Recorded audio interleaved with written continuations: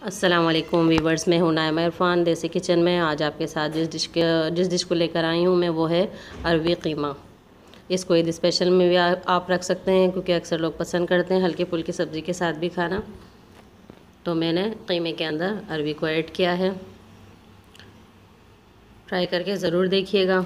Tasty बनती है बहुत जल्दी बनने वाली डिश है। रहिएगा मेरे साथ।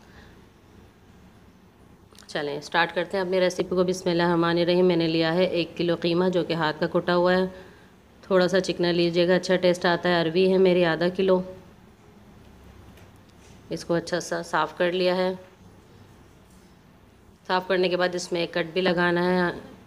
आधा पाव से थोड़ा सा ज़्यादा मेरा आयल है, क्योंकि इसमें आयल अच्छा लगता है। थोड़ा सा चार अदद मैंने अनियन लिए हैं। इसको फाइनली मैंने कट कर लिया है।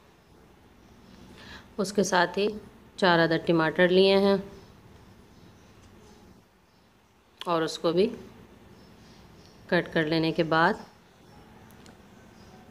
अदरक लहसुन चाहिए होगा और हरी मिर्चें हैं, उनको पेस्ट नहीं करना है, सिर्फ़ क्रश करना है। स्पाइसेस में हमारी हल्दी है, पिसी हुई मिर्च है, नमक है और धनिया पाउडर है। गार्निशिंग के लिए हमें चाहिए होगा हरा धनिया और लेमन। ये मैंने अपना ऑयल लिया है और उसको अपने पैन में डाल ले, डाल लिया है। अब अपनी प्याज को इसमें हल्का सा फ्राई करूँगी। इन चीज़ों में ब्राउन नहीं करते, प्याज वरना सालन में अच्छा टेस्ट नहीं आता। सिर्फ़ हल्का सा नरम करते हैं अपने। इस कीमे को मैंने इसमें ऐड कर दिया है। साथ ही अपने टमाटर जो मैंने कट करके रखे थे, चार अदद उनको ऐड कर दूँगी। इसके साथ ही अपने अदरक, लहसुन और हरी मिर्च सब चीज़ें डालने के बाद मैंने इसको कवर कर दिया अच्छा सा, तकरीबन 20 से 25 मिनट के लिए ताकि सब चीज़ें अपना पानी छोड़ दें। इसके बाद मैंने अपने स्पाइसेस ऐड किए हैं। उसके बाद थोड़ा भूना है मैंने फिर। भूनने के बाद अरबी डाल दी अपनी और उसके बाद फिर इसको मैंने थोड़ी देर के लिए छोड़ दिया था। पाँच से सात मिनट के लिए ज़्यादा नहीं, ये पानी मेरा तकरीबन ख़त्म हो गया कीमे का अब मैं अपना पानी ऐड करूँगी, थोड़ा सा एक गिलास, क्योंकि ये अरबियाँ थोड़ा टाइम लेती हैं, इसके लिए पानी चाहिए होता है।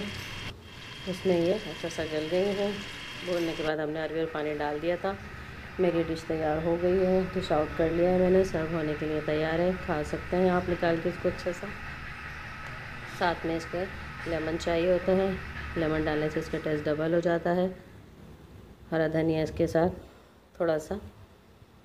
गार्निशिंग के लिए और टेस्ट के लिए भी होता है। तो दोस्तों ट्राई करके ज़रूर देखिएगा। इन आपको ये रेसिपी पसंद आएगी।